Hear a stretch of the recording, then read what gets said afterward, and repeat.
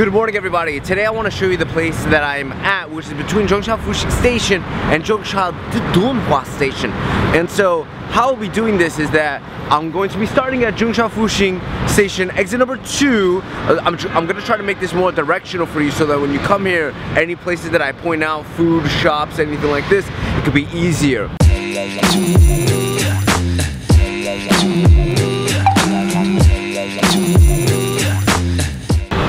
Number two, just go straight and make a slight left. You'll bump into this dumpling shop. I made a video about it before. It's great. I really like it. Um, basically what it is, it's a fried dumpling. So the bottom is a bit crunchy and the top is a bit fluffy, okay? If you walk a little further and make a slight right, you also see another dumpling shop here it but this one has more options. As for which one's better. Honestly the dumpling shops with the cabbage and the pork and everything they all kind of taste similar.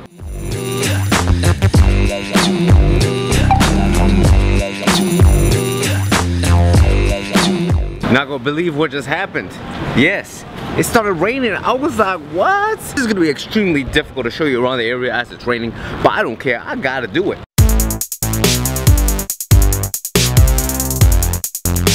I'm stopping for a moment. I gotta figure out how I'm gonna have this umbrella without just holding it because it's too much of a hassle. So I'm gonna see if I can somehow creatively attach it to my backpack so it could be there by itself.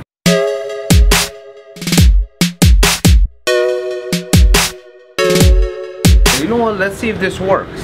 I hope this works. I'm not gonna have that much reach, but I could be like this and I could zoom in with the lens. So let's see. I look ridiculous. As you continue to walk straight, you'll also see a small little park that you could just kind of eat the street food if you like, or just sit down at. I am sick of this. This is ridiculous. I can't even work properly.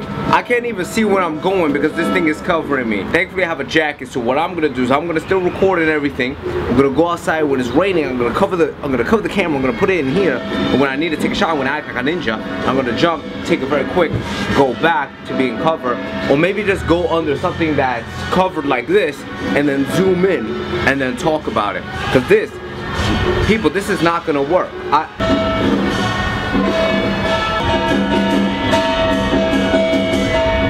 I was saying, you just keep walking straight, you'll kind of bump into like a fruit shop and you'll see like a Buddhist area and they're playing some music or a ceremony.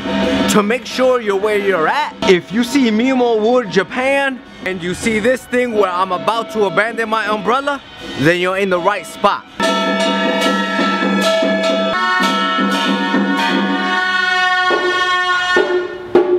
And so right next door to the Buddha, not the Buddha, right next door to the Buddhist temple, they have this little shop over here. They sell the papers that you start burning for the temple and some snacks as well. So now we're gonna go forward over there. The people here are very smart. They kind of have this roof that they put on top so that if you're gonna come and eat here or be around this area, when it rains, you don't get wet. So you have all these people eating here without worrying about the rain. I don't know if this is normal, new, or temporary because I didn't see this here last time.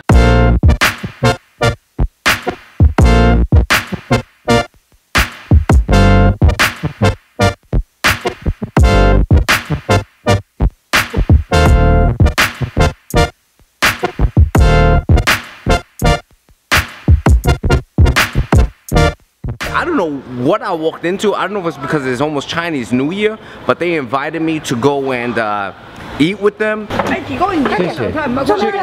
G G chicken 要吃饭啦，吃饭饭啦，对。对，好，谢谢无啊无啊无啊。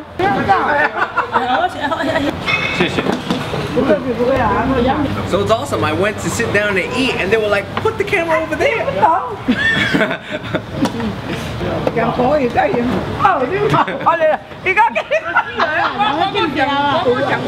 这个什么？这个是过关，鱼香肠。墨鱼，香肠。墨鱼，墨鱼，墨鱼，香肠，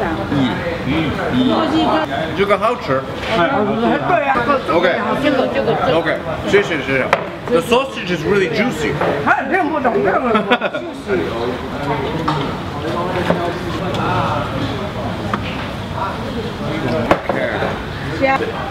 shrimp，金角什么名字？叫什么名字？哦，对你叫什么名字？对，叫阿姨。这个你叫什么名字？帅哥，帅哥，帅哥。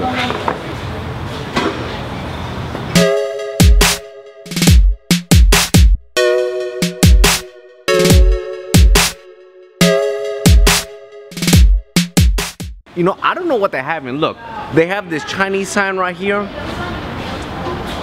What's that mean? The food was spectacular. I am telling you. Obviously, you could tell that it was very homemade, right? What's the difference between homemade food similar to what I just had versus like the street food in Taiwan? So I know at this point you might be a little lost. Where am I? Where do I go? So I'm just gonna meet you back at the dumpling shop. Okay, we're back at the dumpling shop. Exit number two is there. We're going straight. Look at that hair. So you cross the street, you keep going straight, you come into this little shop, this is like a pancake cream dessert. They have cream, taro, red bean. It's pretty, I actually, I actually like the, uh, the cream one better. They also have a chocolate one in Shimen. As you continue to walk straight, you bump into this shop it's called Charlie Brown. I came here a few days ago. So, actually, you know, I'm gonna go back in. I was thinking not to go back in because I came a few days ago. People's gonna think I'm crazy or something. It just has a, different types of pastries that you can get. Um, and different varieties. Sweet breads, eh, to floss, red bean, shishini. Uh, one of the things they do have is like an egg uh, pudding. I'm curious in how that tastes, but the problem is that you have to buy nine of them and I'm just not that interested in sweets to get them. When you get out of Charlie Brown, continue going straight, and when you see MoMA, turn right and, and keep on going, and you'll see a bunch of restaurants along this way.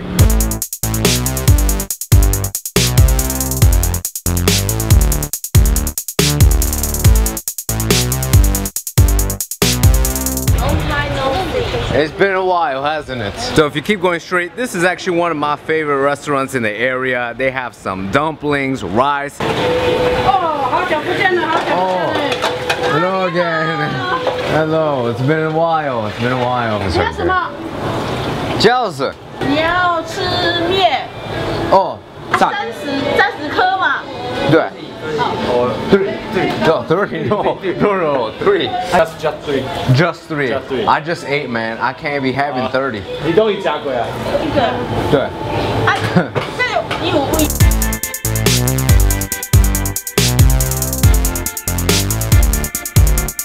Got the pork dumplings here.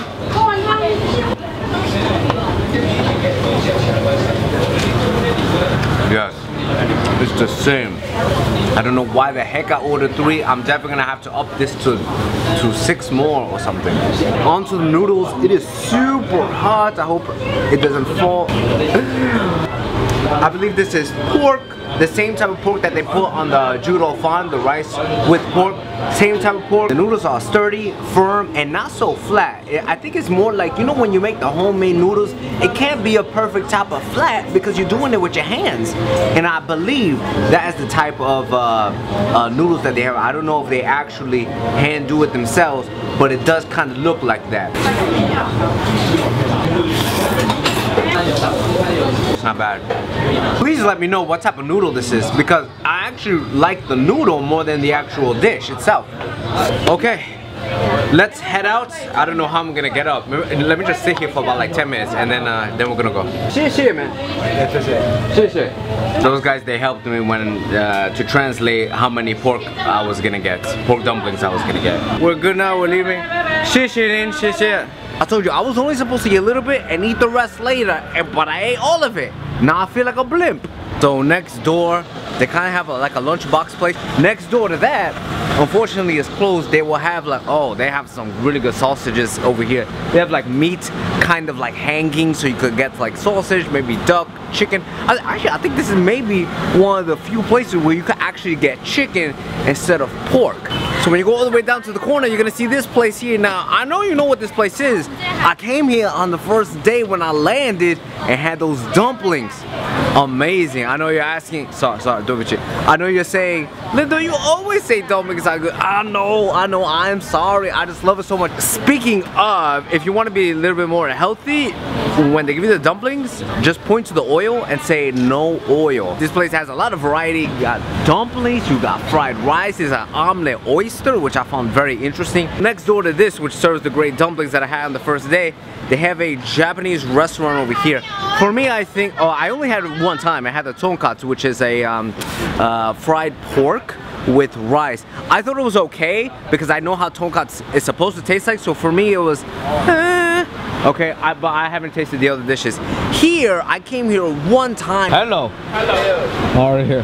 What I think is a little different about this place is that the dumplings is actually just scallions. And then they have this like fried, I don't know what it is. Inside is just scallions again, but it's, it's a bit fried. And this is more like a pancake snack. So I don't really come here much often. I had the rice, it was so-so. And uh, the stinky tofu. Okay, remember when I was in Yilan and I had the stinky tofu and I was a bit scared? It's because I had that stinky tofu over there. It was so stinky, so powerful. I was like, ah. So when in Yilan I had the stinky tofu, I was like, nah, because they actually taste good. And so this place right here actually serves like a traditional Taiwanese noodle soup. I thought it was fine. For me, it was a little too salty, but I don't know if it's that's just this place or just the dish.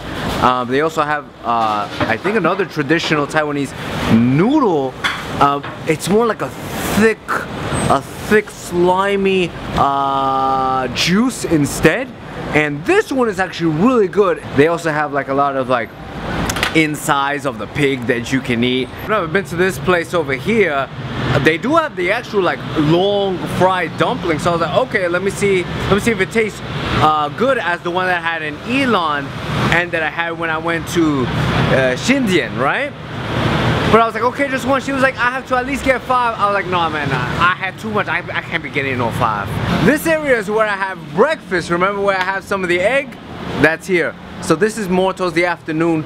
This is a pork bun. It's different from the other pork bun because it's actually, the whole entire bun is like all crunchy because it's, it's put into this thing. And it's super crunchy with beef and sca I'm not sorry, not beef, with pork and scallion. This is the breakfast place, Nina, where I get the eggs. And um, this is where I got those noodles where it, it, feels like I'm brushing my teeth with noodle, not brushing my teeth, where it's cleaning my tongue. I know, you're probably confused, just watch the video. And then this is the market where they have meat and vegetables that I showed you the other day.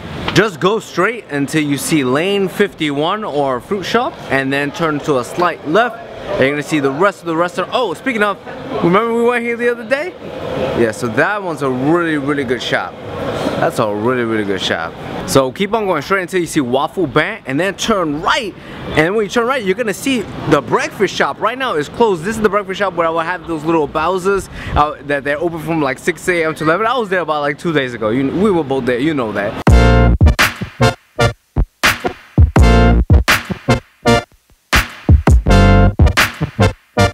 Continue to walk straight, you'll see that place where we get the Fontuan. Right now, she's not there. She, she's only here in the morning. Once you cross the street and go straight, you'll see Zhongxiao Dunhua Station, exit number 7. I'm back at Zhongxiao Fuxing, exit number 2. And I'm going to go straight that way.